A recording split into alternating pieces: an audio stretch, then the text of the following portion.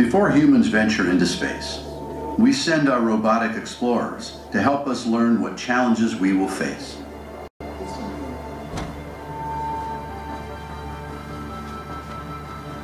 These spacecraft act as our eyes and ears in space, helping us find out much more about our nearest neighbor. Today still study data and samples from these historic missions. First person to fly across the Atlantic non-stop. A first step toward creating global commercial airlines.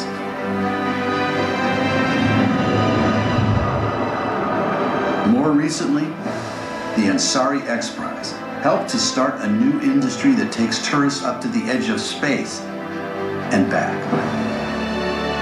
Such prizes have successfully opened up frontiers of opportunity and changed civilization in unpredicted, innovative ways.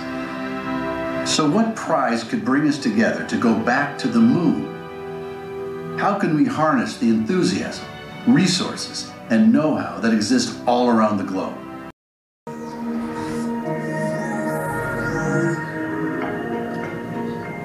During the previous space race, only two nations could afford to build rockets.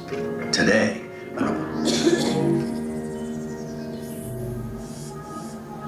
We are Barcelona Moon team, and when we were selecting our launcher, we had several options.